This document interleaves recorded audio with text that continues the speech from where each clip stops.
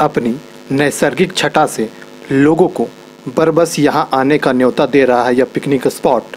जी हाँ यह न तो कश्मीर का डल झील है और न ही दार्जिलिंग की वादियाँ, बल्कि यह नज़ारा है चौपारण के चैथी टाल का, जो अपनी प्राकृतिक सुंदरता एवं यहाँ पर असंख्य खजूर के पेड़ों के लिए जाना जाता है।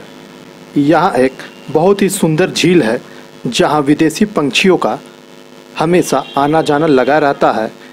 इस जगह पर सैलानी भी पिकनिक मनाने हमेशा आते रहते हैं। अगर राज्य सरकार और जनप्रतिनिधियों की थोड़ी सी भी निगाहें यहाँ कर्म पड़ जाए तो यह स्थान पूरे ज़िले में ही नहीं, बल्कि पूरे राज्य में अपनी पहचान एक बेहतरीन टूरिस्ट प्लेस के रूप में बना सकेगा।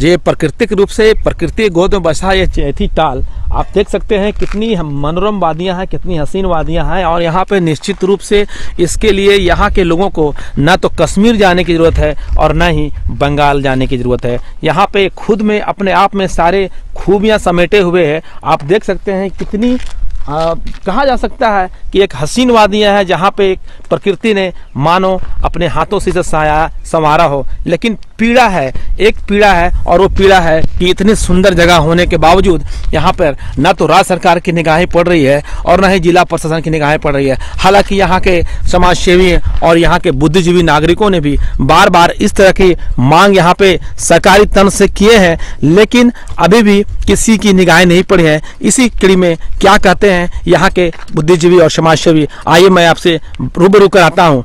सर यहाँ पे काफ़ी हसीन जगह है ये और किस तरह के आप मांग रखते हैं क्या पीड़ा है आप? कुछ नहीं सरकार अगर यहाँ ध्यान दे यहाँ आकर देखे कुछ पिकनिक स्पॉट के लिए तो उत्तम जगह है देखा जाता है कि हमेशा यहाँ भीड़ रहती है और फ़र्स्ट जनवरी में भीड़ रहती है। हाँ हाँ रहती है। रहती है। क्या आप क्या किस तरह के बयान करना चाहते जी जो बोले चाचा सरकार इस पर यहाँ ध्यान दे पिकनिक स्पॉट के लिए। वो बेहतर जगह यहाँ पे है। भीड़ भी रहती है यहाँ पे। जी जी। जी, अभी आपने देखा देखा और सुना, यहाँ के लोगों का भी कहना है कि निश्चित रूप से ये बहुत ही बेहतरीन मनोरम जगह है और यहाँ पे सरकारी तंत्र की निगाहें पड़नी ही चाहिए ताकि यहाँ के लोगों को एक पर्यटक स्थल के रूप में डेवलप होगा ही, साथ ही यहाँ के ग्रामीणों को भी एक रोज़गार की रोज़गार की संभावना बढ़ेगी और यहाँ के आय वृद्धि होगी। यहाँ के लोगों का जीवन स्तर ऊँचा होगा और अभी आप देख सकते हैं कि किस तरह से यहाँ पे मैं यूँ ही नहीं कह रहा हूँ, बिल्कुल यहाँ पे एक हसीन वादियाँ हैं तो है, और प्रकृति ने मानो अपने हाथों से सजाया संवारा और बार बार मैं ये बात को दोहरा रहा हूँ, ताकि यहाँ के लोग, यहाँ के प्रतिनिधियों की निगाहें सम, और सरकार की निगाहें यहाँ पर पड़े।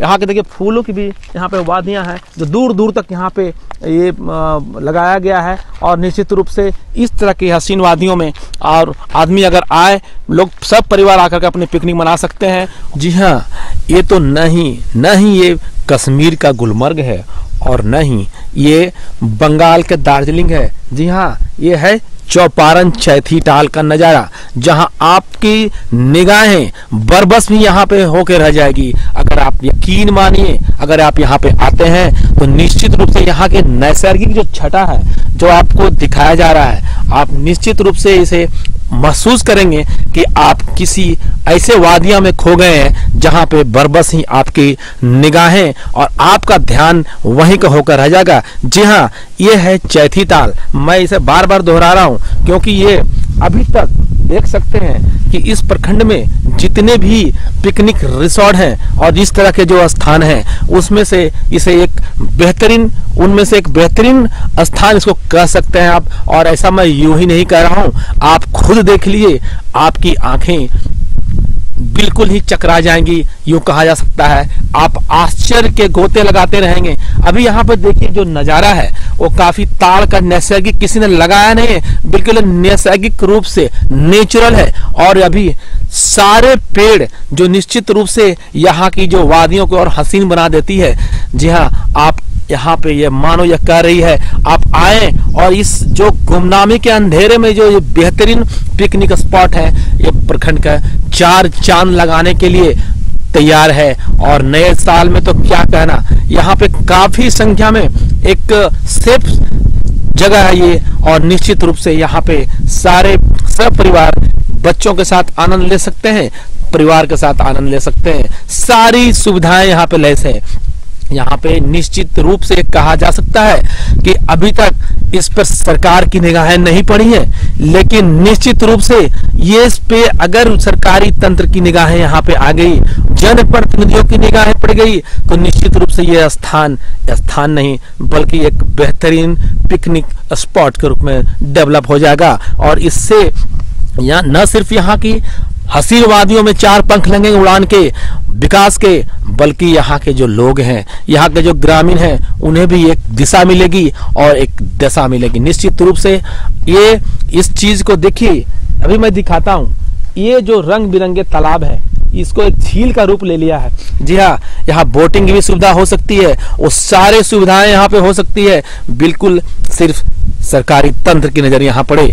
और इसके लिए हसीन वादियों में चार पंख लगेंगे उड़ान के, विकास के, बल्कि यहाँ के जो लोग हैं, यहाँ के जो ग्रामीण हैं, उन्हें भी एक दिशा मिलेगी और एक दशा मिलेगी। निश्चित रूप से ये इस चीज़ को देखिए, अभी मैं दिखाता हूँ। ये जो रंग बिरंगे तालाब है इसको एक झील का रूप ले लिया है। जी हाँ यहाँ बोटिंग की भी सुविधा हो सकती है वो सारे सुविधाएँ यहाँ पे हो सकती है। बिल्कुल सिर्फ़ सरकारी तंत्र की नज़र यहाँ पड़े। और इसके लिए आने वाले समय में निश्चित रूप से उम्मीद की जानी चाहिए कि यहाँ पे इस तरह की सुविधाएँ जल्द ही होगी।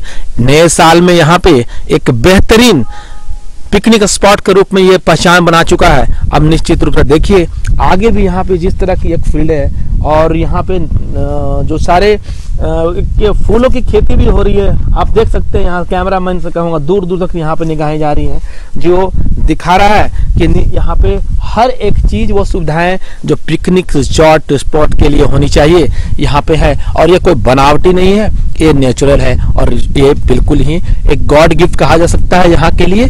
और यहाँ पे निश्चित रूप से आने वाले समय में एक बेहतरीन, आप देख सकते हैं, यहाँ पे मैं और भी आपको दिखा सकता हूँ कि यहाँ पे जो आइए, और यहाँ के एक बोटिंग का ही मज़ा लिया जा सकता है। जी हाँ रंग बिरंगे फूल और यहाँ विदेशी पक्षियों का भी आवागमन होता है। और यहाँ पे निश्चित रूप से सारे जो होनी चाहिए एक पिकनिक स्पॉट में, वो यहाँ पे मौजूद है। यहाँ पर बिल्कुल सारे देख सकते हैं रंग बिरंगे फूल भी यहाँ पुष्प भी खुले हुए हैं। स्वागत के लिए तैयार है, कह सकते हैं कि अब मेहमानों, आने वाले नए साल में मेहमानों के स्वागत के लिए ये सारे ये पौधे, ये कलियाँ और ये फूल आने वाले समय के लिए, आने वाले मेहमानों के लिए स्वागत के तैयार। बहरहाल, आने वाले समय में इसे एक बेहतरीन पहचान मिलेगी, ऐसा मैं विश्वास रखता हूँ। और यहाँ की निगाहें, जो सरकार की निगाहें हैं, जनप्रतिनिधियों की निगाहें हैं तो उन सभी लोगों की समाज सेवियों की निगाहें यहाँ पर पड़नी चाहिए, जिससे यहाँ पे एक बेहतरीन पिकनिक स्पॉट और एक, इसकी जो आइडेंटिटी हो, एक पहचान बने और हम सभी ग्रामीणों को एक ही आवाज़ है कि यहाँ पे इस तरह की सुविधाएँ होनी चाहिए। बहरहाल, मैं प्रमोद कुमार नेशन 24 के लिए कैमरामैन अहमद नूर सिंह के साथ चैथी टाल से।